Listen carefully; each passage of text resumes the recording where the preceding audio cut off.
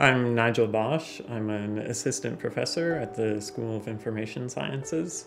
My research is focused on machine learning uh, applications for education domains and especially studying how uh, those machine learning models might work differentially for different groups of students uh, based on demographic variables or other characteristics, um, and as well how we can improve those models or study the impact of applying those kinds of machine learning models uh, to students from various backgrounds.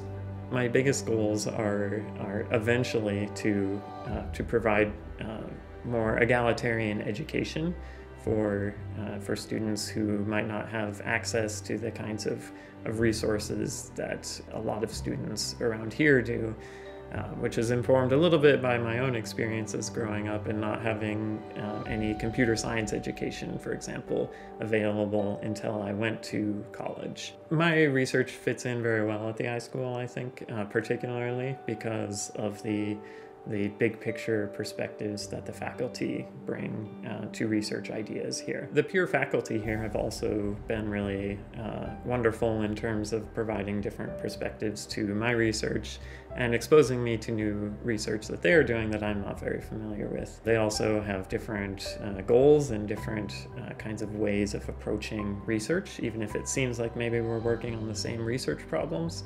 It's really nice to work with faculty who are who are interested in very different parts of the same project. The students here bring a lot of different uh, backgrounds to the table, but also um, many different interests. So teaching classes here, sometimes you end up with, uh, with students from uh, you know, business and dance and, uh, and information sciences, of course, but uh, many different perspectives and many different interests. And that's very neat to, to see. And it gives me a lot more interesting opportunities to try uh, teach students how they might be able to apply uh, what we do here to their particular domains of interest.